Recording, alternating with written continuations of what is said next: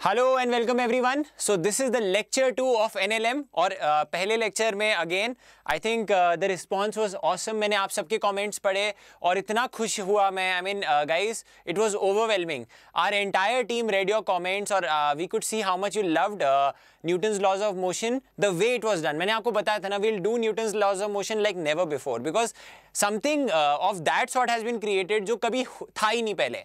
चलो so let's get started with Newton's laws of motion lecture two okay उससे पहले मैं बताना चाहता हूँ again this is our solid team of J live daily daily seven eight nine ये awesome awesome team आपको daily JEE के लिए प्रेप करती है okay for your JEE Mains and advance so again if no if you don't know about it if you're a new student अभी के अभी वो लाल वाला बटन दबा दो सब्सक्राइब का और and also don't forget to hit the bell icon okay because again this is your your quest to finding the best quality education highest quality education free of cost has ended here. Okay? चलो, अब let's get started, let's get started right away. Okay अब बच्चों, मैं आपको बताना चाहता हूँ कि दो लाख पच्चीस हज़ार से ज़्यादा बच्चे ऑलरेडी हमारे साथ यूट्यूब पे जुड़ चुके हैं। टेलीग्राम ऐप पे, जिस ना, ये ग्रुप चैट है, जैसे व्हाट्सएप होता है, वैसे ही टेलीग्राम होता है। इसमें आठ हज़ार से ज़्यादा बच्चे हमारे साथ ऑलरेडी जुड़ चुके हैं। अन अकेडमी प्लस जो पेड प्लेटफॉर्म है, उस पर दो हज़ार बच्चे ऑलरेडी हो चुके हैं। अब देखो, कैसे टेलीग्राम ऐप पे आना है? सिंपल अपना फ़ोन उठाओ। फ़ोन में इस ऐप को इंस्टॉल करो टेलीग्राम ऐप को। And once this app is on your phone go to your browser जैसे कि गूगल क्रोम गूगल क्रोम में टाइप करो tiny U R L dot com slash J live chat okay जैसे website डालते हैं, वैसे ही डालो and you will enter the group okay उसके अलावा मैं बताना चाहता हूँ कि अभी तक अगर बच्चों आप प्लस पे नहीं आए हो तो मैं आपको बताता हूँ कि प्लस पे क्या प्लस है। तो यहाँ पे टेस्ट सीरीज़ होती है क्विजेज होती हैं, ये सारे सेशन जो आप यहाँ पे पढ़ रहे हो, ये सारे के सारे लाइव सेशन हम यहाँ पे भी करते हैं बट थोड़ा ज़्यादा पर्सनलाइज होता है।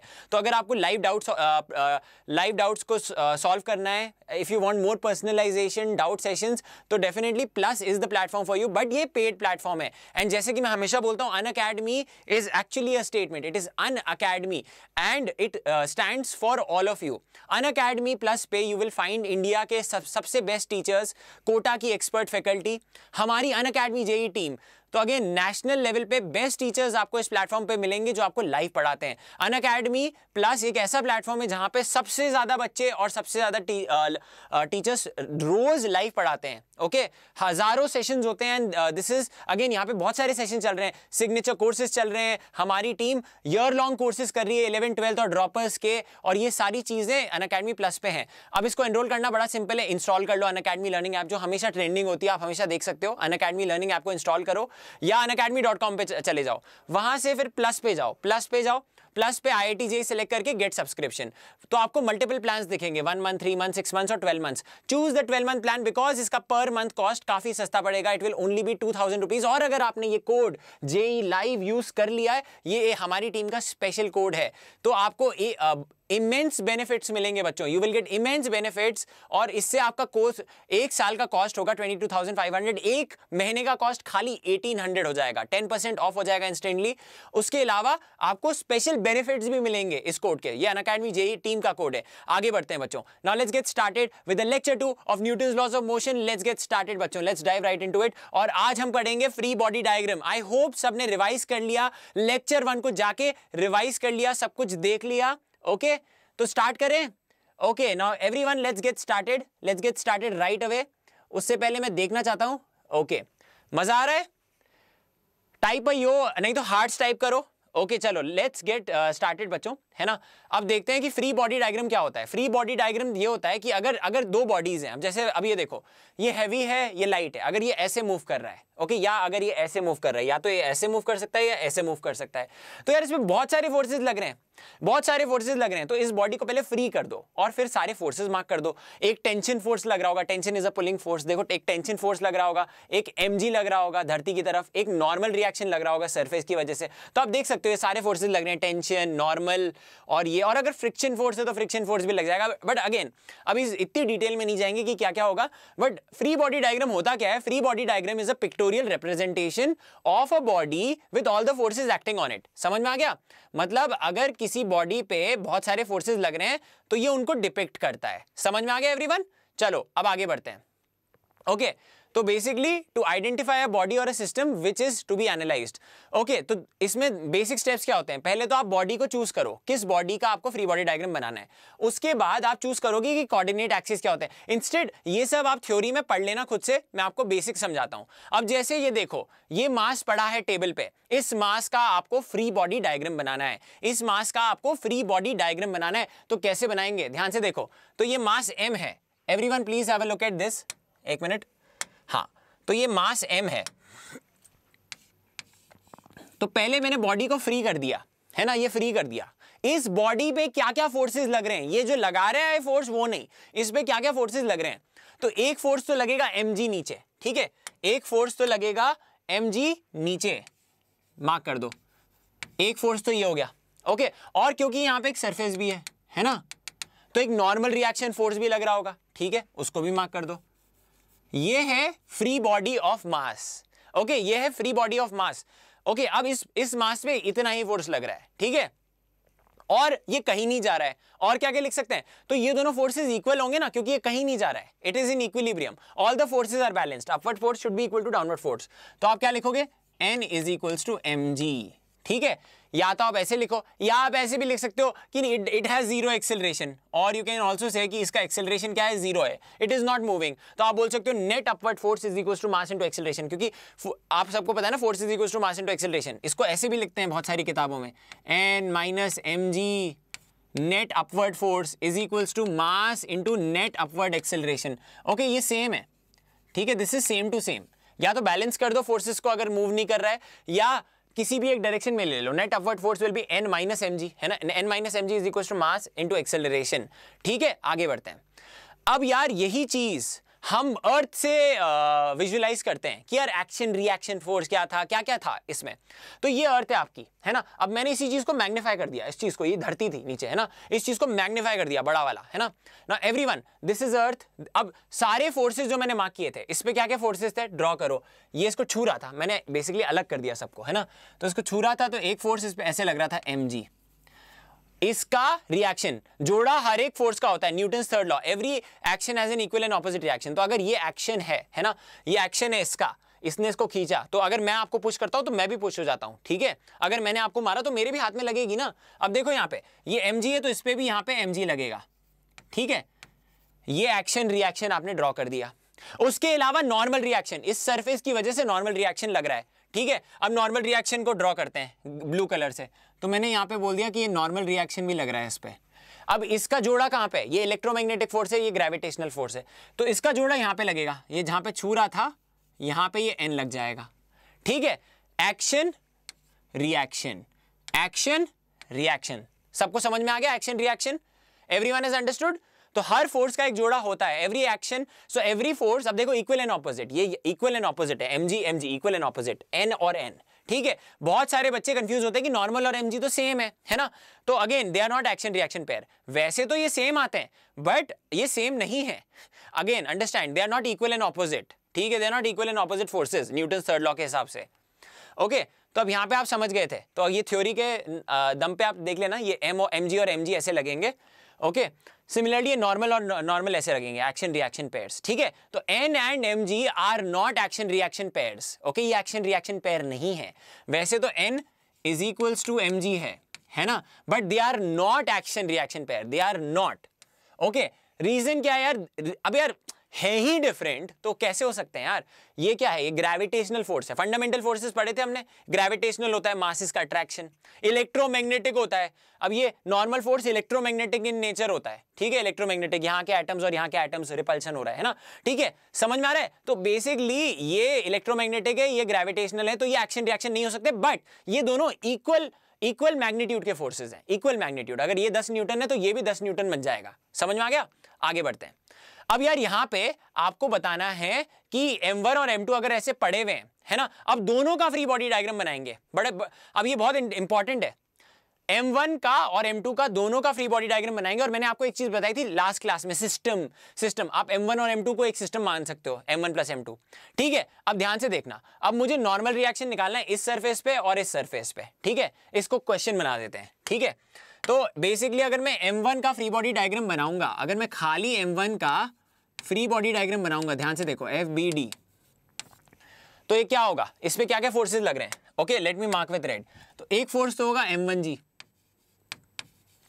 ओके और इस सरफेस पे ओके ये जो सरफेस है, इस पे एक नॉर्मल रिएक्शन लग रहा होगा एन वन ठीक है let me say this is N one okay this is N one this is M one G this is N one and this is M one G अब M to की बात की जाए M to okay खाली यही है और ये दोनों इक्वल भी होंगे क्योंकि पढ़ा हुआ है है ना? तो आप लिख सकते हो कि N one is equals to M one G एक इक्वेशन लिख दिया। Upward force is equal to downward force नहीं तो ऐसे लिख सकते थे N N N one minus M one G is equals to M into zero M one into zero क्योंकि यार ये मूव नहीं कर रहा, कोई एक्सेलरेशन नहीं है इसका, ये रेस्ट पे है ओके ठीक है, यहाँ पे उसका एक सरफेस था।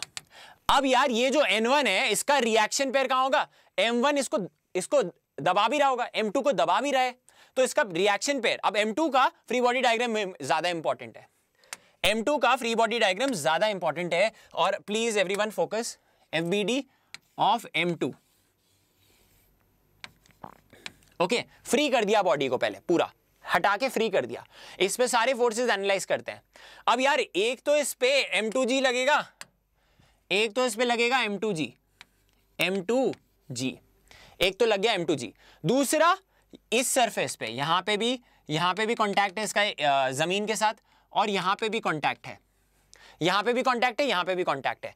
तो इस कांटेक्ट पे मैं बोलता हूँ नॉर्मल लग रहा है N2 बड़ा नॉर्मल क्योंकि अगेन ज़्यादा ज़्यादा मतलब यहाँ पे ज़्यादा नॉर्मल लग रहा होगा, क्योंकि बहुत ज़्यादा वेट है। यहाँ पे कम वेट है। बट ये वाला, अब ये देखो, ये एक्शन रिएक्शन पेयर दिखेगा आपको यहाँ पे। यहाँ पे जो, ये N1 था, ये यहाँ पे भी लगेगा। यही सेम N1 ठीक है? Action reaction Newton third law की वजह से। अब ये ये हुआ साक्षात डायग्राम M2 पे क्या क्या फोर्सेज लग रहे हैं? M2 पे M M2G लग रहा है। एक नॉर्मल इस सरफेस की वजह से लग रहा है। एक नॉर्मल इस normal is always a pull push मतलब push based force okay tension जैसे पुलिंग होता है, एक रस्सी से आप खाली पुल कर सकते हो पुश नहीं कर सकते एक रस्सी से।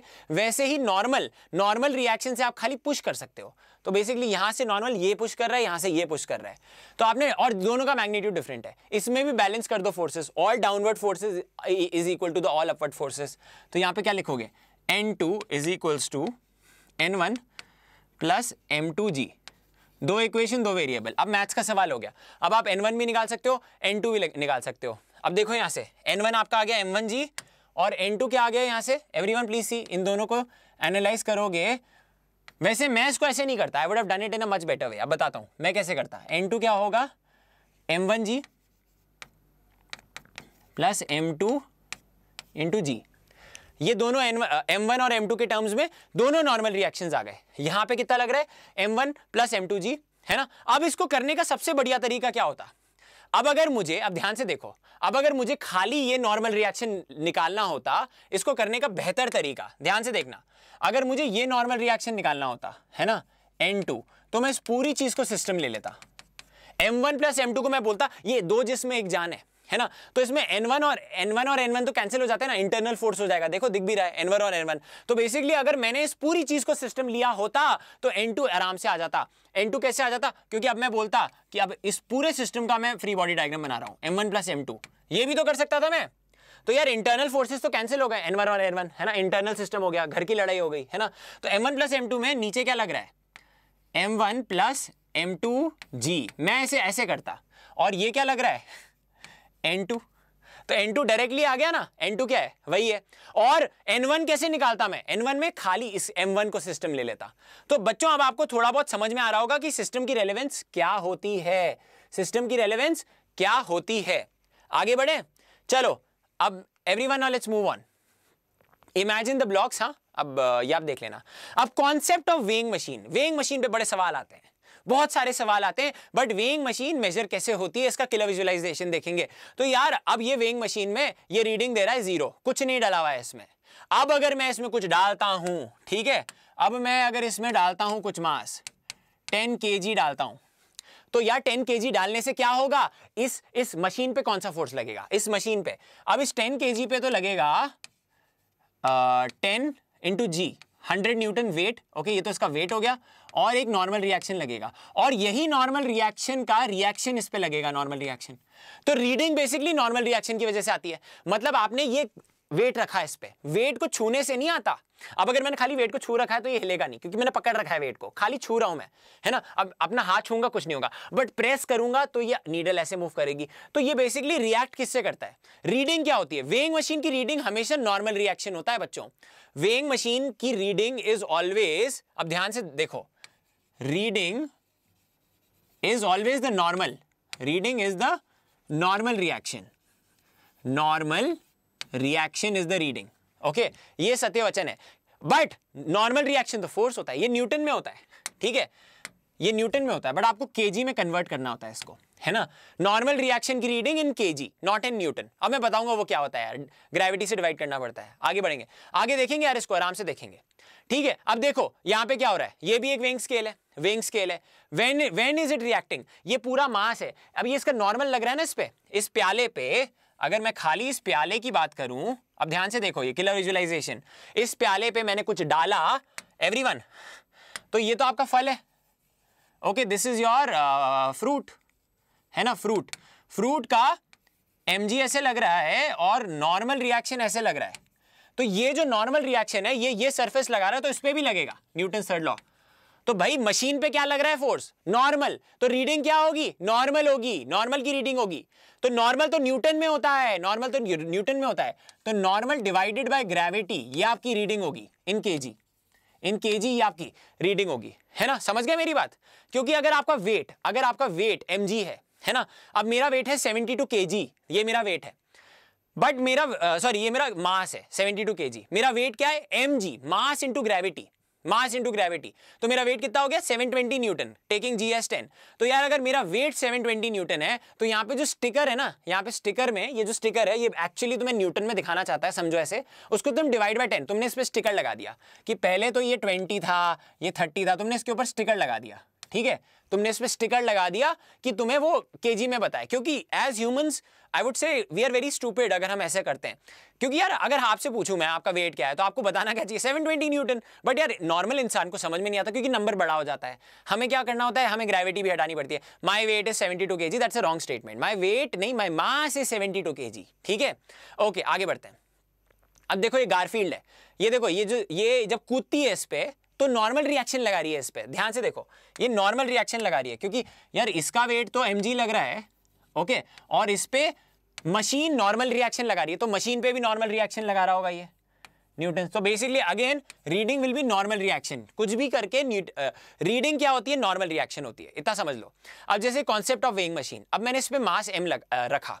एम रखा मास ग्रेविटी कितनी है? G acceleration due to gravity अब मुझे वेइंग मशीन की रीडिंग बतानी है। तो पहले मैं मास एम का फ्री बॉडी डायग्राम बनाता हूँ। पहले मैं डालता हूँ, यहाँ पे देखो, टक टक टक टक टक, ये यहाँ से छू रही है। एम जी तो ये सरफेस है, ये सरफेस पे कांटेक्ट कांटेक्ट हो गया। तो नॉर्मल रिएक्शन लगेगा। ये, अब ये नॉर्मल रिएक्शन क्या लगेगा? ध्यान से देखो, ये नॉर्मल रिएक्शन लगेगा एन आप बोलोगे N is equals to M G okay N is equals to M G अब यही एन यहाँ पे लग रहा है तो इस पे भी लगेगा ना न्यूटन थर्ड लॉ के हिसाब से। अगर आप किताब को टेबल पे रखते हो तो टेबल पे भी फोर्स एक्सर्ट होता है, ठीक है? अब वही चीज़ है। अब इस पे यहाँ पे वेंग मशीन का फ्री बॉडी डायग्राम बनाते हैं। वेंग मशीन पे एक्स्ट्रा, एक्सटर्नल फोर्स क्या लग रहा है मास एम की वजह से? ये लग रहा है है ना? एन तो रीडिंग क्या होगी वेंग मशीन की? वेंग मशीन, अब मान लो कि वेंग मशीन खुद मासलेस है है ना? वेंग मशीन का खुद का कोई मास नहीं है। इस पर क्या फोर्स लग रहा है? इस पर अत्याचार हो गया एन का। तो यही तो रीडिंग होगी, बट यह है न्यूटन में। ध्यान से देखो। ये न्यूटन में है रीडिंग, ठीक है? तो आपकी रीडिंग क्या होगी? रीडिंग इन न्यूटन क्या होगी? रीडिंग इन न्यूटन, ठीक है? रीडिंग इन न्यूटन क्या होगी? नॉर्मल के बराबर होगी। नॉर्मल के बराबर। और नॉर्मल क्या है? M G this is equals to M G ठीक है? अब आपको मास बेसिकली आपको कायदे से एम चाहिए तो ग्रेविटी से डिवाइड करना पड़ेगा। अगर मैं बोलूँ कि मुझे ना रीडिंग चाहिए केजी में ठीक है? This is just because of the stupidity of are us humans only okay so don't take offence here it's a quite interesting thing तो रीडिंग केजी में क्या होगी? एन डिवाइडेड बाय जी क्योंकि N divided by G M आ जाएगा, ठीक है? Which is also equal to M K G ठीक है? एम के जी तो एन बाई जी आपकी रीडिंग होती है। तो पहले रीडिंग निकाल लो, पहले नॉर्मल रिएक्शन निकाल लो न्यूटन में। डिवाइडेड बाय ग्रेविटी काम खत्म। ठीक है? काम खत्म। तो इसकी थ्योरी आप देख लेना। आई होप आपको सबको समझ में आ गया है। ठीक है? चलो एक प्रॉब्लम करते हैं। So this is your first problem और इसके लिए मैं आपको टाइम देने वाला हूँ बच्चों। So again this is a timed thing countdown begin कर रहा हूँ। एक मिनट में ये प्रॉब्लम सॉल्व करो कि लिफ्ट में आपने ये मास डाल दिया। ऐसे बहुत सारे सवाल आते हैं। इसको सॉल्व करो जल्दी से। Quickly solve this everyone keep solving this okay हाँ हो रहा है? A block of mass M is kept तो बेसिकली फ्री बॉडी डायग्राम बनाओ। ये लिफ्ट एक्सेलरेट कर रही है ए से ऊपर। इसको स्यूडो फोर्स से नहीं करेंगे क्योंकि मैंने आपको स्यूडो फोर्स अभी पढ़ाया नहीं है। Okay everyone continue to do this अच्छी तरीके से। Okay thank you thank you everyone for the good comments जल्दी करते रहो। Okay let's aim for let's aim for 600 likes before this amazing class ends okay everyone 12, 11, 10, 9, 8, 7, 6, 5, 4, 3, 2, 1 20 minute हो चुके हैं और हमने काफ़ी कुछ कवर कर लिया है। मैंने एक्सपेक्ट नहीं किया था कि इतनी जल्दी होगा। आज काफ़ी कुछ करने वाले न्यूटन लॉस का ओके बहुत बहुत बहुत बढ़िया। Everyone now let's have look at this question weighing machine है और मास एम है। तो यार क्या करना है? अगर जो जो इस पे नॉर्मल लग रहा है मास पे वो आपकी रीडिंग होगी। समझे? जो इस पे नॉर्मल लग रहा है ध्यान से देखना। एवरी वन प्लीज़ अंडरस्टैंड ज़्यादा कंफ्यूज नहीं होना। वेइंग मशीन की रीडिंग निकालिए नॉर्मल ऑन द ब्लॉक निकाल लो। Normal on the block block पे जो नॉर्मल लग रहा है वो निकाल लो। तो ये जो ब्लॉक है ब्लॉक की कहानी block is touching like this ये मास एम है। ओके okay, इसमें सारे फोर्सेस लिख दो। एफ़ ऑफ़ द ब्लॉक बड़ा मज़ा आएगा। एक सेकंड में आंसर आएगा। एफ़ ऑफ़ द ब्लॉक बनाया। इसकी प्रैक्टिस से होता है। कभी कभी आ, आपको अभी लग रहा होगा मुश्किल है बट है बहुत सिंपल तो आपने क्या ड्रॉ किया? इस पे एम जी फोर्स लग रहा है। नॉर्मल रिएक्शन ऊपर लग रहा होगा क्योंकि यार देखो ये वेट मतलब ये कॉन्टैक्ट है। तो नॉर्मल रिएक्शन ऊपर लग रहा है। नॉर्मल ऑब्वियसली ज़्यादा होगा। क्यों? क्योंकि एक्सेलरेट सब कुछ एक्सेलरेट कर रहा है ए से ऊपर। चलो एक्सेलरेशन को भी ड्रॉ कर दो ऐसे। ये बहुत ज़रूरी होता है। इसीलिए मैं स्टार्टिंग से काइनामेटिक से आपको ये ड्रॉ ऐसे डबल एरो में ड्रॉ करता हूँ। ये एक्सेलरेशन है। मतलब एक्सेलरेशन और फोर्स भाई भाई होते हैं। ये सबको पता है ना? F is equals to M into A force is equals to mass into acceleration. ये न्यूटन का सेकंड लॉ होता है। पहला लॉ इसको क्वालिटेटिवली बताता है सेकंड लॉ इसको क्वांटिटेटिवली बताता है। Force is equals to mass into ये तो नंबर है। तो ये अगर एक्सेलरेशन का ये है अगर एक मास का एक्सेलरेशन यहाँ है तो फोर्स वेक्टर भी यहाँ होगा। पैरेलल वेक्टर्स हैं ये। समझ में आ रहा है? अब देखो, क्या लिखोगे? Net upward force is equals to mass into net upward acceleration net upward force is equals to mass into net upward acceleration तो आप क्या लिखोगे? Net upward force is N minus M G. N minus M G will be the net upward force into mass into acceleration बस बढ़िया। आपको normal reaction निकालना था। आ गया आपका। N is equals to M G plus M A ये Newton में है। ये न्यूटन में है। रीडिंग अब देखो, इस पे अगर एन लग रहा है तो इस पे भी एन लग रहा होगा। यही तो रीडिंग है। यही तो रीडिंग है। तो आप बोलोगे दिस इज़ इन न्यूटन ये तो फोर्स है।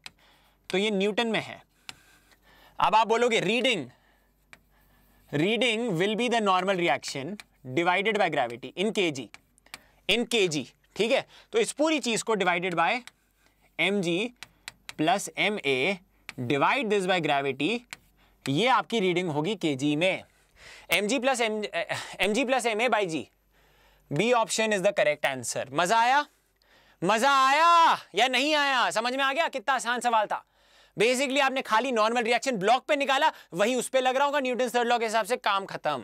ठीक है? ओके अब अगर लिफ्ट नीचे जा रही होती, नीचे जा रही होती तो ये तो पता है ना सबको कि जब लिफ्ट ऊपर जाती तो वेट ज़्यादा ज़्यादा होता है। देखो इसमें ज़्यादा है वेट वेट ज़्यादा है। Everyone see M G plus M A हो गया आपका वेट ये आपका वेट था एम अब आपका वेट हो गया एम प्लस एम क्योंकि जब लिफ्ट ऊपर जाती है, ऊपर एक्सेलरेट करती है तो आपको ज़्यादा वेट फील होता है। ओके जब नीचे जाती है तो वेटलेसनेस फील होती है है ना? तो नीचे जाएगा तो आप, अगर ये नीचे जा रहा होता तो आप लिखते हैं एम जी माइनस एन है ना? आप लिखते M G minus N is equal to M A है ना? और वहाँ से एन की वैल्यू आप देखते कि वो माइनस में आती है। ठीक है, आगे बढ़ते हैं। Let's have a look at this problem बहुत ही बढ़िया प्रॉब्लम है आपके सामने। Two blocks of mass two K G and four के जी और इसमें भी मैं काउंटडाउन स्टार्ट कर रहा हूँ बच्चों। Everyone have a look one minute में सॉल्व करने की कोशिश करो। ठीक है? अब आपको नॉर्मल रिएक्शन निकालना है। यहाँ पे और यहाँ पे। ठीक है? ये to K ji and four के जी ब्लॉक्स है। जल्दी से करो उसको okay okay.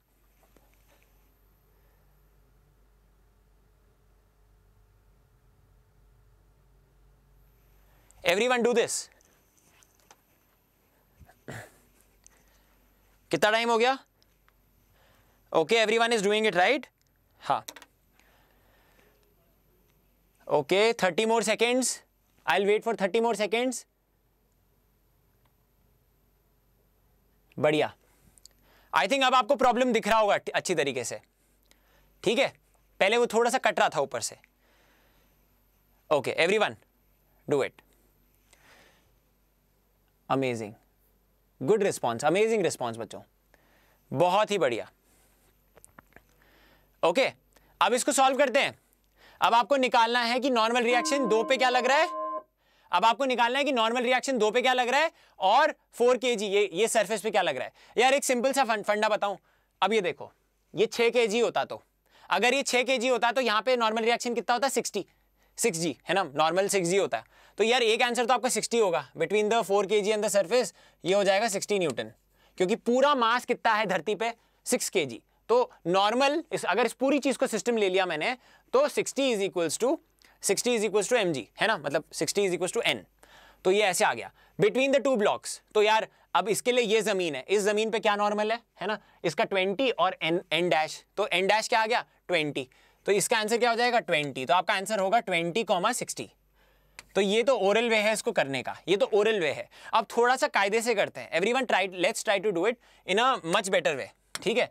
टू के का फ्री बॉडी डायग्राम बनाते हैं, है ना? Every one please see two के का फ्री बॉडी डायग्राम बनाते हैं। अब टू के को पहले फ्री कर दिया हमने। फ्री द बॉडी ओके यहाँ से छू रहा है है ना? ये एक सरफेस से छू रहा है। ओके तो यहाँ पे एक नॉर्मल रिएक्शन लगेगा। ये है एन वन ओके यहाँ पे वन लग रहा है, ये टू तो ये एन वन लग रहा है यहाँ पे। और क्या है इस पे फोर्स इसका खुद का weight twenty newton two G M G G ten है। ठीक है? तो एन वन क्या आ गया आपका? एन वन आ गया आपका ट्वेंटी अब फोर के का फ्री बॉडी डायग्राम बनाओ, या सिस्टम का फ्री बॉडी डायग्राम बना लो, है ना? कोई फ़र्क नहीं पड़ता। Whatever you want to do you can do तो अब यार फोर के का ड्रॉ करते हैं। अब यार फोर के में एनालाइज द बॉडी दो जगह से कॉन्टैक्ट्स हैं। दो जगह से कॉन्टैक्ट्स हैं। तो यहाँ पे कुछ छू रहा है और यहाँ पे भी कुछ छू रहा है। बड़ा सरफेस ठीक है?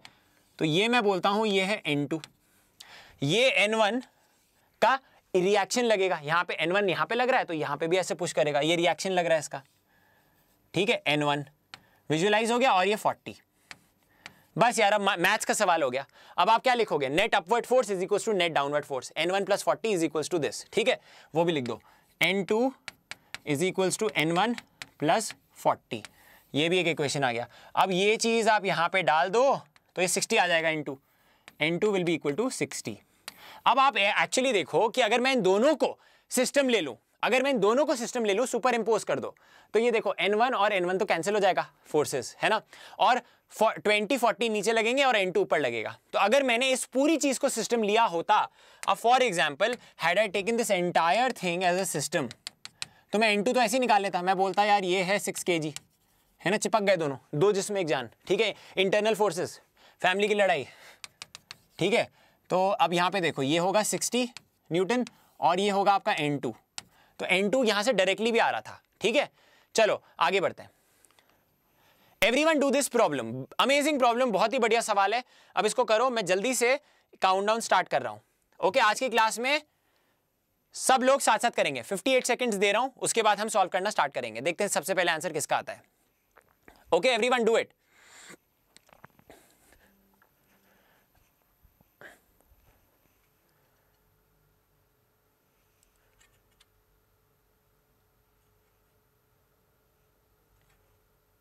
thirty eight seconds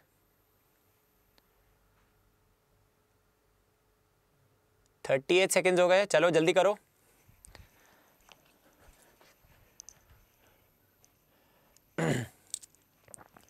twenty three seconds बहुत सिंपल सवाल है, बहुत सिंपल सवाल है। अब देखो यार, यहाँ पे मैं एक फोर्स लगा रहा हूँ फाइव न्यूटन तो दोनों एक साथ मूव करेंगे, एक साथ मूव करेंगे दोनों। पहले विजुअलाइज ये कर लो कि दो ब्लॉक को ऐसे मूव करा रहा हूँ तो दोनों एक साथ मूव करेंगे कॉमन एक्सेलरेशन के साथ।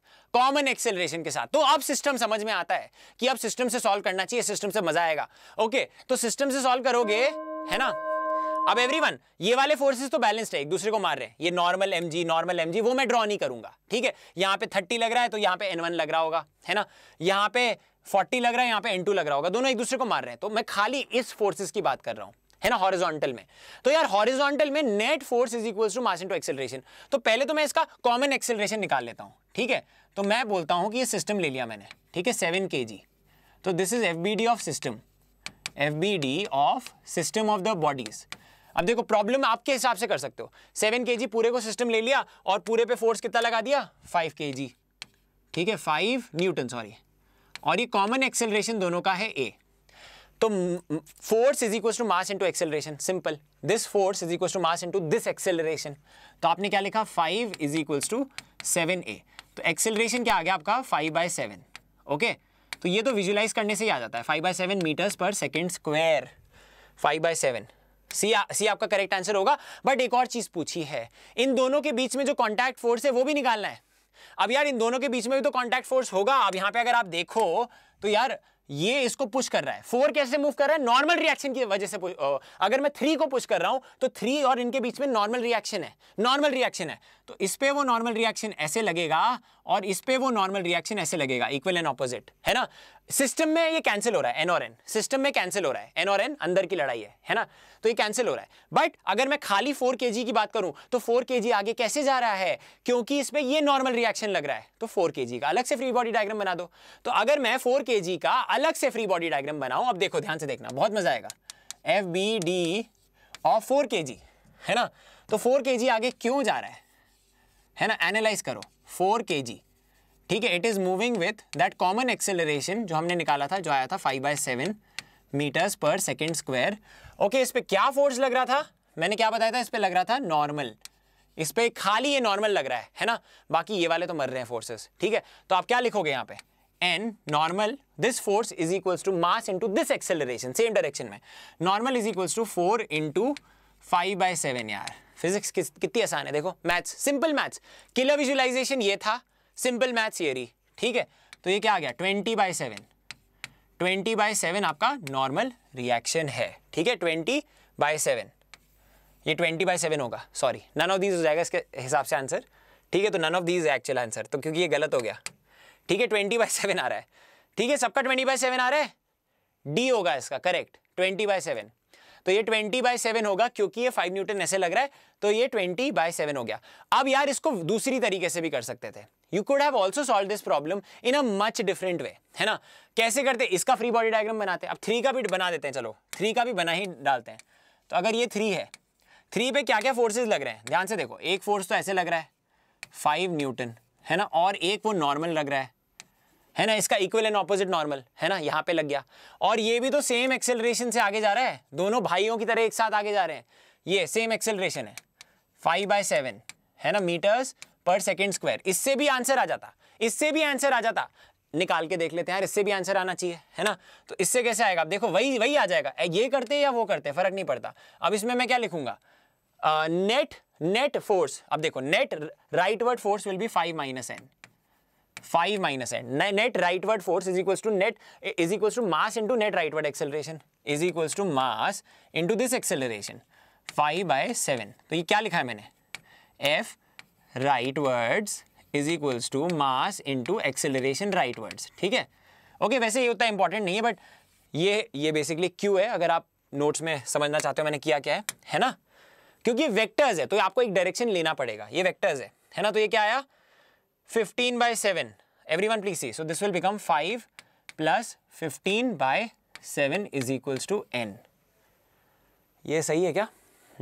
फाइव बाय सेवन आया था क्या? हाँ तो कितना आता है? सेवन फाइव ज़ा? कुछ गड़बड़ कर दी है यार मैंने। हाँ सॉरी माइनस आएगा सॉरी माइनस आएगा। तो कितना आ गया ये? Twenty by seven is equals to N यहाँ से भी आ गया। क्लियर है? अब आगे बढ़ते हैं। Let's move ahead motion on an inclined plane, सबसे सिंपल चीज़ है, motion on an inclined plane. अब अगर ये ब्लॉक एक अब जैसे इसका विजुअलाइजेशन कैसे करें every one I try to make you visualise this, please ध्यान से देखना, क्या होता है। यार ये सबने देख रखा है, कोई बड़ी बात नहीं है, इट्स अ नॉर्मल थिंग कि यार, अब देखो यार, हर हर जगह हर कुछ ना कुछ होता ही है समझाने के लिए। तो यार यहाँ पे ये डब्बा है, ये आपका इंक्लाइन है, ध्यान से देखो, ये आपका इंक्लाइन है। तो इस पर इस पर मैं ये चीज़ रखता हूँ तो क्या होता है, ध्यान से देखो इस पर मैं ये चीज़ रखता हूँ तो ये क्या होता है? ये ऐसे गिरता है। समझ में आ गया? ये ऐसे ही गिरता है। समझ आ रहा है? देखो, ऐसे रखा, ये ऐसे गिरा। इसका एक्सेलरेशन ऐसे है, क्योंकि यहाँ वाला अंदर तो जाने नहीं देगा नॉर्मल अंदर तो जाने नहीं देगा, ऐसे ही आएगा, ये नीचे। ठीक है? अब वो एक्सेलरेशन क्या है? किस एक्सेलरेशन से नीचे आ रहा है, वो निकालना है। किस एक्सेलरेशन से आ रहा है, वो नीचे, वो निकालना है। ठीक है? अब आगे देखते हैं। तो यार, इस वाले केस में एक क्वेश्चन से सॉल्व करते हैं कि यार, ये वो मास है। ये वो मास है, इसका एक्सेलरेशन निकालो। और नॉर्मल रिएक्शन भी निकालो। यार, इतना सिंपल सवाल है, आपको मज़ा आ जाएगा ये करके। मज़ा आ जाएगा, ध्यान से देखना। ओके और उसको बहुत बार अप्लाई भी करेंगे। तो यार, ये है थीटा ये है थीटा वेक्टर्स का पूरा फंडा लगेगा इसमें। इस पर क्या क्या फोर्सेज है, सारे ड्रॉ कर डालो। सारे ड्रॉ कर डालो। इस पे क्या क्या फोर्सेज लग रहे हैं रेड से ड्रॉ कर रहा हूँ। एक तो फोर्स लग रहा है एम जो ऐसे लग रहा है नीचे। एम एक फोर्स लग रहा है नॉर्मल जो ऐसे लग रहा है। परपेंडिकुलर टू दिस ठीक है? और कौन सा फोर्स लग रहा है? यही दो लग रहे हैं। फ्रिक्शनलेस है कोई फ्रिक्शन नहीं है है ना? तो यही दो फोर्स लग रहे हैं हाँ या ना बोलो। इस पर यही फोर्स लग रहे हैं वेज फिक्स्ड है ये वेज फिक्स्ड है। वेज नहीं हिलने वाला। ओके okay, तो ये अब इन दोनों का रिजल्टेंट मैजिकली यहाँ पे आ जाएगा। इन दोनों का रिजल्टेंट मैजिकली यहाँ पे आ जाएगा क्योंकि ये ऐसे तो मूव नहीं कर सकता ये ऐसे ही मूव करेगा। तो यार इसके सारे फोर्सेस यहाँ पे निकाल लो है ना? अलोंग दिस तो आप करते क्या हो एवरीवन अलोंग एंड परपेंडिकुलर तो आप ये एक्सिस ले लेते हो।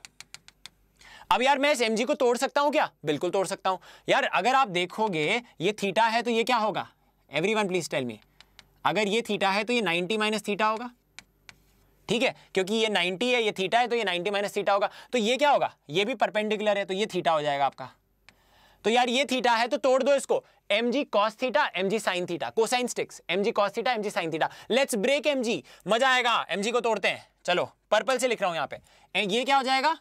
ये हो जाएगा एम जी कॉस थीटा और ये हो जाएगा एम जी साइन थीटा तो m g you can't be greedy इसको तोड़ा है आपने। अब बेसिकली ये एम जी कॉसिटा ये एम जी साइन थीटा ये नॉर्मल है। अब यार कितना सिंपल है। ये एक दूसरे को मारेंगे क्योंकि ये यहाँ नहीं जा सकता। It can not move like this और दिस विजुअलाइज करो। It will only move here it will have a net acceleration in this direction तो आप क्या करोगे? आप बोलोगे कि ये ऐसे मूव कर रहा है। तो एक्सेलरेशन ऐसे मार्क कर दिया आपने। अब इस डायरेक्शन में आप क्या लिखोगे equation net force net force is equals to ये नेट फोर्स है, क्योंकि ये दोनों एक दूसरे को मार रहे हैं। They are balancing each other बच्चों, ये बहुत इंपॉर्टेंट है। ये चीज़ और ये चीज़ एक दूसरे को बैलेंस कर रही है। तो आप लिखोगे normal is equals to M G cos theta okay ये तो कॉमन सेंस है, क्योंकि यहाँ नहीं जा सकता, उड़ भी नहीं सकता। ठीक है? ये ऐसे ही आएगा। एम जी साइन थीटा से नीचे आएगा। ठीक है? और ऐसे भी कर सकते थे यार, यहाँ पे ग्रेविटी लग रही है तो अलॉन्ग द इंक्लाइन ही मूव करेगा। तो G G sine theta G cos theta ये हमने प्रोजेक्टाइल में भी कर रखा है वैसे। ठीक है? अब ये देखो, अब ये क्या होगा? एम जी साइन थीटा तो बेसिकली यहाँ पे एक्सेलरेशन भी निकालना था। बेसिकली ये निकालना था और नॉर्मल निकालना था। नॉर्मल हो गया M G cos theta M G cos theta और ये हो जाएगा जी साइन थीटा क्यों?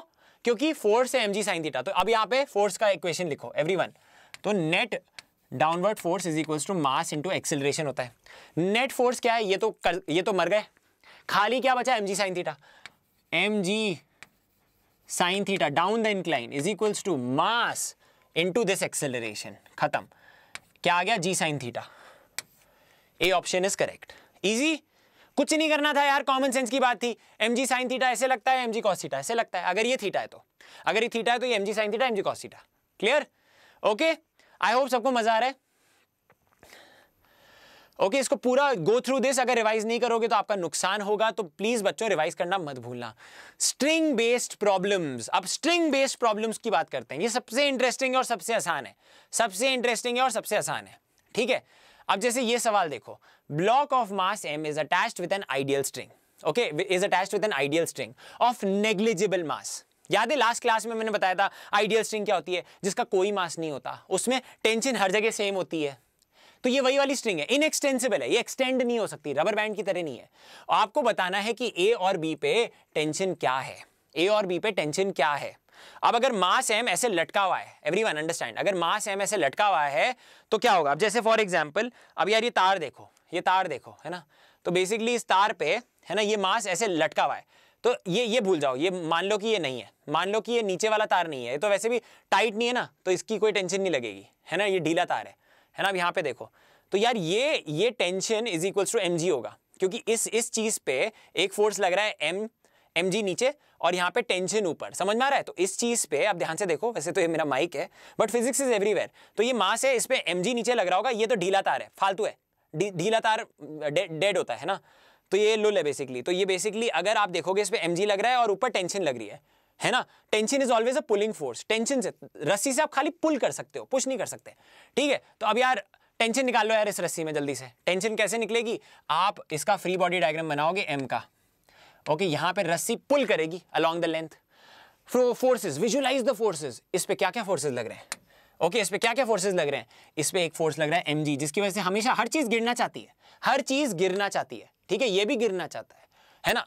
बट अब ध्यान से देखो, इसको गिरने नहीं देगी टेंशन बोलेगी, भाई, मैं हूँ ओके तुम वेट बढ़ाते रहो, एक पॉइंट पे मैं टूट जाऊँगी।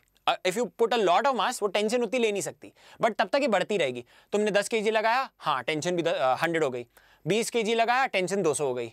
सौ के लगाया टेंशन हज़ार नहीं हो सकती, रस्सी टूट गई। ठीक है? समझ में आ गया? अब यहाँ पे देखो, tension is equals to M G हर जगह टेंशन एमजी है। यहाँ पे एमजी है, यहाँ पे एमजी है, हर जगह एमजी है। ठीक है? So the correct answer will be this ठीक है? समझो। यार बट अब मुझे कोई पूछता है बच्चों कि यार सर ये प्रूफ करो कि बी पे टेंशन एमजी के बराबर ही होगी। क्यों सेम होती है? तो ये बहुत ही कॉन्सेप्चुअल क्वेश्चन है। तो यहाँ पे अब देखो, अगर ये रोप है है ना? अब अगर मैं इस रोप की बात करूँ, यहाँ से लेकर यहाँ तक। ठीक है? यहाँ से लेकर यहाँ तक रोप की बात करूँ तो ये ए पॉइंट है, ये बी पॉइंट है। ये टाइट है स्ट्रिंग टाइट है स्ट्रिंग ठीक है? अब अगर ये टाइट है स्ट्रिंग तो यहाँ पे क्या फोर्स लग रहा है? ए पे एम लग रहा है है ना? ये अपना वेट तो यहाँ पे क्या लग रहा है? एम लग रहा है। ओके और ये मासलेस है तो इसका मास ज़ीरो है। तो ज़ीरो मास है तो फोर्स भी ज़ीरो होगा। मतलब things will magically align in such a way अगर मास ज़ीरो है तो फोर्स ऑटोमेटिकली ज़ीरो हो जाएगा। मतलब ये टेंशन अपने आप को ऐसे एडजस्ट करेगी बच्चों, ये टेंशन अपने आप को ऐसे एडजस्ट करेगी, ऐसे एडजस्ट करेगी कि हमेशा फोर्स ज़ीरो हो जाए, है ना? ये मास ज़ीरो है तो ये एम बोलेगी, मैं भी एमजी हो जाती हूँ। अब तुम कैसे भी ले लो, अगर तुम इतना बड़ा ले लेते तो इस पर भी एमजी लग रहा है तो यहाँ पे भी एम हो जाता, ठीक है? तो हर पॉइंट पे टेंशन एमजी है, ठीक है? और tension is a pulling force mass zero है, ठीक है? तो क्योंकि मास ज़ीरो है तो टेंशन इसके बराबर ही होगी T B will be equal to this समझ में आ गया? आई होप सबको समझ में आ गया है। आगे बढ़ते हैं। Okay?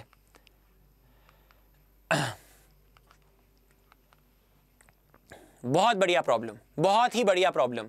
Let's have a look at this two blocks four K G and six के जी हाँ अब आपको निकालना है, यहाँ पे टेंशन क्या है, यहाँ पे टेंशन क्या है। ओरल तरीका बताता हूँ। ये पूरा मास कितना है? टेन के जी टेन के जी तो यहाँ पे सौ होगी टेंशन ओरल ओरल मेथड बता रहा हूँ। ये पूरा कितना है? दस के जी है।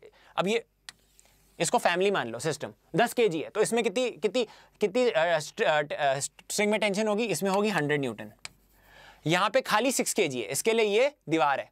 सिक्स के है, यहाँ पे कितनी होगी? Sixty newton oral way of doing the problem ठीक है तो आंसर क्या है आपका? हंड्रेड एंड सिक्सटी दोनों तरीके बताना ज़रूरी होता है। पहले सिंपल है, अब इसको थोड़ा सेटिस्फैक्शन के लिए सॉल्व करते हैं। Everyone let's solve this for satisfaction satisfaction के लिए कैसे सॉल्व करेंगे? पहले सिक्स के को पकड़ते हैं। ओके सिक्स के को पकड़ा। सिक्स के जी का फ्री बॉडी डायग्राम बना रहे हैं। सिक्स के जी यहाँ पे इस पॉइंट पे ना एक स्ट्रिंग है string two different strings different tension ठीक है? अब देखो यहाँ पे।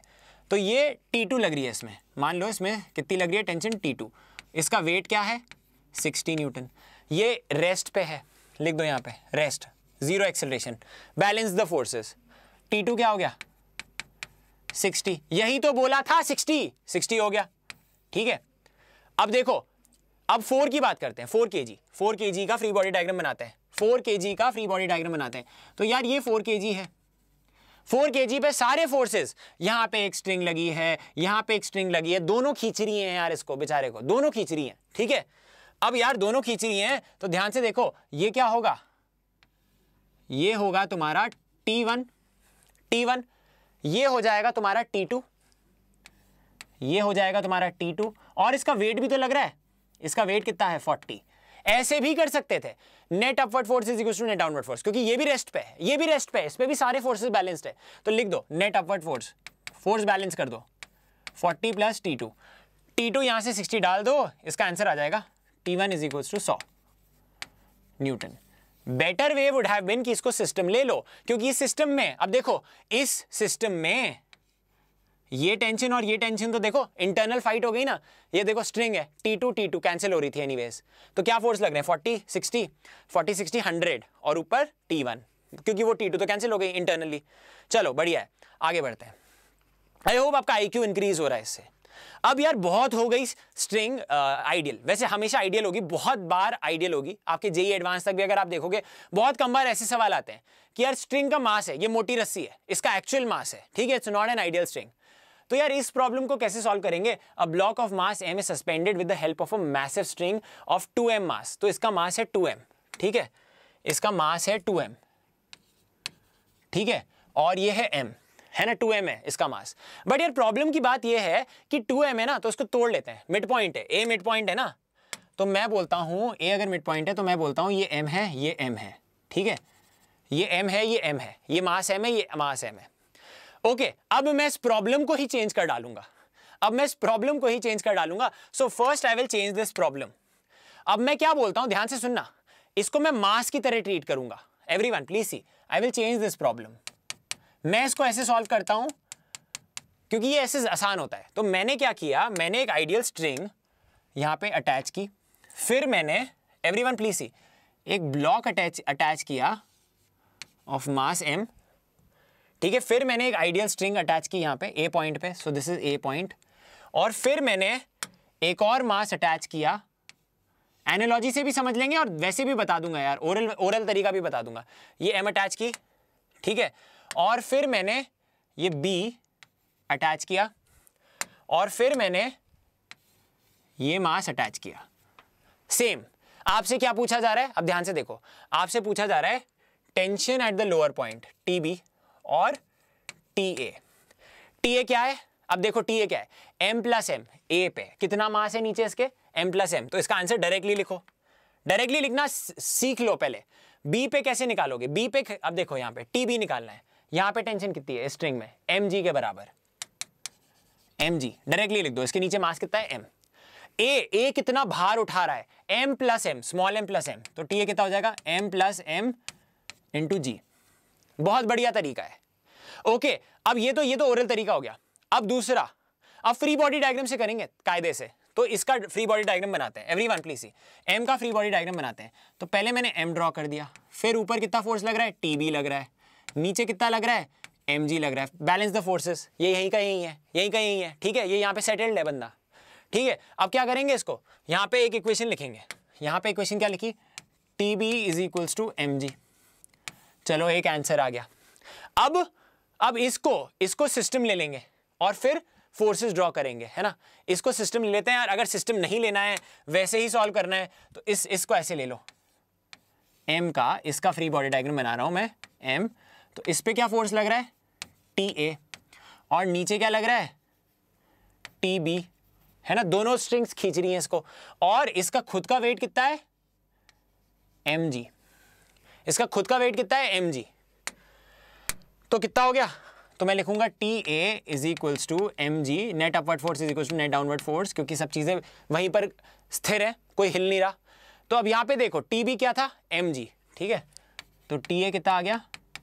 M G plus capital M G दूसरा आंसर दोनों आंसर आ गए। वैसे इसको देख के भी कर सकते थे कि इस पॉइंट पे निकालना है, इस पॉइंट से नीचे कितना मास है? M plus M small M plus capital M into G यहाँ पे कितना मास है इसके नीचे? एम जी वैसे भी लिख सकते थे, ठीक है?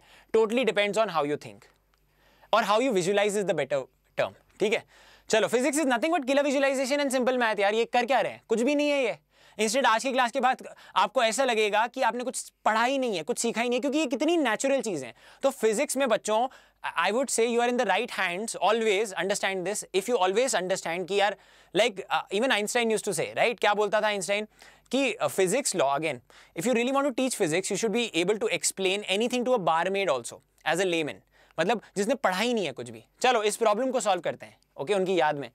Everyone look at this the breaking tension okay the breaking tension of the string is 200 Newton ठीक है T max is 200 Newton find the maximum acceleration with which the boy can climb without breaking the string है ना? अभी climb करने की कोशिश कर रहा है। ये बंदा क्लाइंब करने की कोशिश कर रहा है। हाउ कैन यू क्लाइंब अगर आप ऊपर क्लाइंब करना चाहते हो, अब ध्यान से देखो। अगर आप, ठीक है? अगर आप ऊपर क्लाइम करना चाहते हो तो कौन सा फोर्स ले जाएगा आपको ऊपर? बच्चों, जल्दी बताओ, कौन सा फोर्स आपको ऊपर ले जाएगा? क्या आप ये देख पा रहे हो? टेंशन आपको ऊपर ले जाएगा। करेक्ट टेंशन आपको ऊपर ले जाएगा। ठीक है? टेंशन फोर्स आपको ऊपर ले जाएगा। और यहाँ पे ये गिवन है T max maximum tension can be 200 after which it will break 200 Newton okay everything is in SI units तो इस आदमी को ऊपर टेंशन ले जा रहा है। इसका खुद का वेट कितना है? 10 के तो इसका खुद का वेट कितना है? 10 के हो जाएगा 100 न्यूटन। 100 न्यूटन। अब अगर मैं बोल रहा हूँ कि चलो, tension is greater than 100 Newton मतलब ये ऊपर जाएगा, ठीक है? मतलब ये ऊपर जाएगा, ठीक है? तो इसको मैंने बोल दिया, चलो, ये ए मैक्स कर दिया मैंने। ए मैक्स के लिए टी मैक्स भी होना चाहिए। ए मैक्स है तो टी मैक्स भी होना चाहिए। नेट अगर अपवर्ड एक्सेलरेशन सबसे ज़्यादा है तो ऊपर का टेंशन भी मैक्सिमम होगा। इतना तेज जा रहा है कि इतनी टेंशन क्रिएट कर दी उसने कि ए मैक्स हो जाएगा। ठीक है, अब ध्यान से देखो, अब आप क्या लिखोगे? Net upward force is equal to mass into acceleration A max तो मैं क्या लिखूँगा? T max net upward force क्या है? टी मैक्स माइनस हंड्रेड तो ये नेट अपवर्ड फोर्स है। Is equals to mass into A max बहुत बढ़िया। टी मैक्स क्या गिवन है? 200 अब ये क्या हो जाएगा? 200 minus hundred is equals to mass क्या है? 10 ए मैक्स तो ए मैक्स क्या हो गया? 10 नहीं तो सिंपल है। अगर ऐसे नहीं करना था, अब ज़रूरी नहीं है ऐसे करना है। अब मैं कैसे करता इसको बताता हूँ। मैं इसको ऐसे करता कि यार मैक्सिमम टेंशन होगी तो ही ऊपर जाएगा। मैक्सिमम टेंशन कितनी है? 200 है ना? और ये 10 के का है। तो यार ये तो इनएविटेबल फोर्स है। ये तो उसका वेट है। ठीक है? अब बता लो। एक्सिलेशन दिख गया इससे? 200 100 टोटल 100 है ना? 100 इज़ इक्वल टू टेन है ना? कितना आंसर आ गया? 10 डायरेक्टली लिख दो। कि अगर आपको पता है कि मैक्सिमम टेंशन क्रिएट कर दी इसने ऊपर जाने के लिए ठीक है? तो ऐसे कर लो। अब आगे एक और सवाल ओके? एक और इंस्पिरेशनल सवाल है यहाँ पे। अब ये थोड़ा सा टेक्निकल सवाल है। इसमें क्या ले, ले, दे रखा है? अब इसने बोला रस्सी उतनी अच्छी नहीं है। अब अब ना 200 नहीं है टी मैक्स अब ये बोल रहा है कि maximum tension can be 90 Newton 90 Newton से ज़्यादा ले नहीं सकता। 90 न्यूटन से ज़्यादा ले नहीं सकता। तो इसमें आंसर क्या होगा? Minus one, minus two, one, या boy can not climb up. तो इसमें ये लिखा है व्हाट इज़ द वही सेम सवाल what is the maximum acceleration with which the boy can climb up without breaking the string without breaking the string अब यार एक चीज़ हो सकती थी, अगर आप नीचे जा रहे होते, हैं तो आप टेंशन कम रखते टेंशन कम रखते, आप उसे पूरी तरीके से नहीं पकड़ते। अगर आपने, अब देखो क्लाइंब करने के लिए पकड़ना तो पड़ेगा ही, और आपने जैसे ही पकड़ा एवरी वन प्लीज़ सी ये टेंशन है। और आपका खुद का वेट कितना है? हंड्रेड जैसे ही पकड़ा टेंशन टूट जाएगा। समझ में आ गया? Because as you pick and you are not climbing when you are not climbing if you are not climbing not climbing at all okay तो टेंशन क्या होगा? When you are not climbing T minimum will be hundred but यार, ये तो hundred sustain ही नहीं कर सकती है तो you can not climb as you will just hold it टूट जाएगी रस्सी। Okay as you will hold it रस्सी टूट जाएगी और आप नीचे गिर जाओगे। ठीक है? समझ में आ गया? So basically you are not climbing otherwise इसका बुकिश सोल्यूशन ये है कि आप ऐसे लिखो T minus M G is equal to M A तो आप बोलोगे okay T net upward force T minus M G is equals to M A आप ऐसे लिखोगे। फिर जब आप ऐसे लिखोगे, फिर आप बोलोगे कि भाई मैक्सिमम टेंशन लगा दो मैक्सिमम एक्सेलरेशन के लिए। है ना? तो मैक्सिमम टेंशन क्या है? है ना? 90 इज़ द मैक्स ठीक है? और ये क्या है? ये तो हंड्रेड है है ना? तो ये क्या हो जाएगा? Ninety minus hundred is equals to ten A तो यहाँ से एक्सेलरेशन क्या आ गया? माइनस वन मीटर्स पर सेकेंड स्क्वायर अब यार ये तो नेगेटिव एक्सेलरेशन आ गया। तो ये तो नहीं है possible he can not climb up simple सी बात है। आप क्लाइंब कर ही नहीं सकते ऐसी रस्सी पे, जो यार इतनी अच्छी है ही नहीं, जो आपके वेट को नहीं सस्टेन कर सकती। है ना? समझ में आ गया? अब ये देखो find the acceleration of the blocks ये तीन ब्लॉक्स हैं। ओके थ्री के जी फोर के जी एंड फाइव के जी इन तीनों को ट्रेन की तरह मैं 120 न्यूटन से आगे खींच रहा हूँ। आपको एक्सेलरेशन ऑफ़ द ब्लॉक्स निकालना है और टेंशन इन ईच स्ट्रिंग निकालनी है। तो यार बेस्ट तरीका क्या होता है? पहले तो ये सबके सब एक फैमिली की तरह आगे जाएँगे सेम एक्सेलरेशन के साथ। चलो तो एक सिस्टम ले लो पहले, है ना? तो पहले मैंने एफबीडी बोला system F B D is my system of all the three blocks ठीक है? तो ये थ्री फोर फाइव कितना हो गया? सेवन ट्वेल्व हो गया टोटल है ना? तो मैंने लिखा ट्वेल्व के जी इस पर कितना फोर्स लग रहा है? वन ट्वेंटी न्यूटन, है ना? अब कॉमन एक्सिलरेशन क्या हो जाएगा? है ना? ए कॉमन क्या हो जाएगा? Common acceleration will be one twenty is equal to twelve A C तो ए कॉमन आ गया आपका 10 मीटर पर सेकेंड स्क्वायर। बहुत बढ़िया। मतलब सारे के सारे 10 मीटर पर सेकेंड स्क्वायर से चल रहे हैं। अब चलो टेंशन निकालते हैं। ओके, ये टू है, ये वन है। टेंशन निकालते हैं दोनों जगह। ठीक है? दोनों जगह टेंशन निकालते हैं। तो पहले एफ़ बी डी थ्री का बनाते हैं। Everyone please see three K G का एफ़ बी डी बनाओगे। अब ये कितने से चल रहा है? ये कॉमन एक्सेलरेशन से चल रहा है। टेन मीटर्स पर सेकेंड स्क्वायर है ना? और कॉमन एक्सेलरेशन से चल रहा है। तो और इस पर फोर्स क्या लग रहा है? टी टू इस पर फोर्स लग रहा है टी टू और अब ये क्या लिखोगे आप? T two is equals to three into ten net force is equals to mass into acceleration क्योंकि ये वाले वर्टिकल वाले तो मर गए फोर्सेस नॉर्मल और एमजी मर गए। बैलेंस कर रहे हैं एक दूसरे को। यही फोर्स है, खाली। यही नेट फोर्स है। अब क्या है? T two is equals to three into ten तो यार टी टू आ गया आपका थर्टी थर्टी न्यूटन अब चलो फोर की बात करते हैं। फोर के लिए इस पूरे को सिस्टम ले लो, है ना? अब इस पूरे को सिस्टम ले लो तो आप क्या लिखोगे? T one is equals to seven A है ना? T one is equals to seven A तो टी वन क्या आ जाएगा? Seven A which will be seventy orally आ गया। टी वन सेवेंटी ओरली आ गया। नहीं तो यार, नहीं तो क्या करना है आपको? चलो यहाँ पे ही निकाल लेते हैं। फोर के जी को अलग से ड्रॉ करते हैं। एवरी वन प्लीज़ सी अब मैंने फोर के को अगर ड्रॉ करता, है ना तो ये क्या है? ये है टी वन ये है टी टू और ये आगे जा रहा है कॉमन एक्सिलेशन के साथ टेन मीटर्स पर सेकेंड स्क्वायर तो आप क्या लिखोगे? T one minus T two is equal to forty four into ten okay अब आपको टी टू पता है. टी टू थर्टी है. फोर्टी प्लस थर्टी क्या आ गया? सेवेंटी तो यहाँ से ऐसे भी निकाल लो उसको आपकी मर्ज़ी यार. It's totally dependent on you अब यहाँ पे ये वाली अब समझो अगर मैंने एक स्ट्रिंग को 120 न्यूटन से पुल किया तो टेंशन भी 120 हो जाएगी। तो यहाँ पे टेंशन भी 120 हो जाएगी। अब उसको निकालने के मल्टीपल तरीके हैं। फाइव के को everyone please see this five K को अगर मैं ऐसे ड्रॉ करता हूँ तो ये फाइव के है।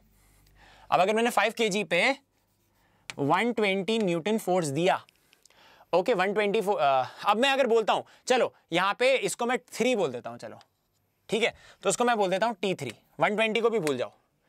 इसको स्ट्रिंग ही तो खींच रही है ना, स्ट्रिंग ही तो खींच रही है। तो आपने टी थ्री लिखा। और ये कितना है? ये टी टू के बराबर है। और टी टू कितना आया था अपना? सॉरी हाँ टी टू कितना sorry T one T one है ना? टी थ्री और टी वन तो ये टी वन है। तो टी वन कितना आया था अपना? सेवेंटी तो ये आ गया सेवेंटी तो आप क्या लिखोगे इसमें? T three minus seventy is equals to five और ये भी टेन से चल रहा होगा। फाइव इंटू टेन तो देखो टी थ्री ऑटोमेटिकली आपका वही आ गया। वन ट्वेंटी न्यूटन ओके एक और तरीका इसको समझने का। एक और तरीका इसको समझने का। इस रोप का फ्री बॉडी डायग्राम बना दो, है ना? ये तो हम डायरेक्टली भी निकाल सकते थे। क्योंकि ये जो रोप है, ध्यान से देखो बच्चों, ये जो रोप है, ये बहुत इंटरेस्टिंग है कि अगर आप फाइव के पे जो रोप थी, ये मासलेस है। ये मासलेस है। अगर आप इस रोप की बात करो तो इस पर क्या फोर्स लग रहा है यहाँ पे? यहाँ पे फोर्स लग रहा है 120 और यहाँ पे कितना लग रहा है? T3 T3 लग रहा है ठीक है? क्योंकि टेंशन है ना इस, इस रोप में जो भी टेंशन है टी थ्री के बराबर है। तो एक पॉइंट पे 120 लग रहा है एक पे टी थ्री लग रहा है। मास ज़ीरो है तो force net net force zero होगा। तो आप क्या लिखोगे? T three is equals to one twenty ठीक है? मतलब ऐसे करो वैसे करो आपकी मर्ज़ी। ओके okay, बच्चों so that was about it बहुत मज़ा आया मुझे. आई होप आपको भी आया है. ये आपका होमवर्क सवाल है ठीक है? इसको आप खुद से करना होमवर्क के तौर पे करना. बहुत ही सिंपल सवाल है. कैसे करेंगे? स्ट्रिंग वन में क्या क्या टेंशन होगी? स्ट्रिंग वन में देखो 120 से खींच रहे हो तो 120 150 ही होगी. आपका पहला आंसर तो ऐसे ही आ गया. ओके okay, तो आपका आंसर ए होगा इसका. आप देख लेना. और बाकी कैसे करोगे? बट यहाँ पे एमजी भी लग रहा है तो यहाँ पे ग्रेविटी भी है. तो उसको सॉल्व करना. पहले तो अब देखो यहाँ पे. टोटल मास कितना है? टेन के जी तो टेन के जी कॉमन एक्सेलरेशन निकाल रहे हो। तो नीचे कितना लगेगा फोर्स टेन के जी का। Ten G that will be one hundred और ऊपर कितना लग रहा है? वन फिफ्टी नेट फोर्स कितना लग रहा है? Fifty fifty is equal to ten है। ओके एक्सेलरेशन फाइव आ गया। और एक एक का टेंशन के टर्म्स में आप एक्सेलरेशन निकालते रहना। 50 और 45 आना चाहिए। Okay guys that was about it thank you so much I hope you loved it अभी गॉड ऑफ़ केमिस्ट्री की क्लास स्टार्ट होने वाली है so be there on time like का बटन तहस नहस कर देना। Do share this on your social media with the hashtag J live daily and अगर आपने ये लाल बटन नहीं दबाया है तो अभी के अभी दबा दो and also hit the bell icon okay notes आपको थोड़ी देर में मिल जाएँगे। एंड प्लस कोर्स भूलना मत बच्चों इन द डिस्क्रिप्शन उसका लिंक दे रखा है। प्लस पे भी आपको आना ज़रूरी है। 2000 बच्चे हमारे साथ ऑलरेडी जुड़ चुके हैं। एंड अभी ये परफेक्ट टाइम है to take the one year subscription उससे again you can definite definitely boost your rank in the JEE so this is self sufficient but again अगर आपको पर्सनलाइज हमारे साथ पढ़ना है so be there on plus also thank you so much guys notes आपको मिल जाएँगे थोड़ी देर में. Thank you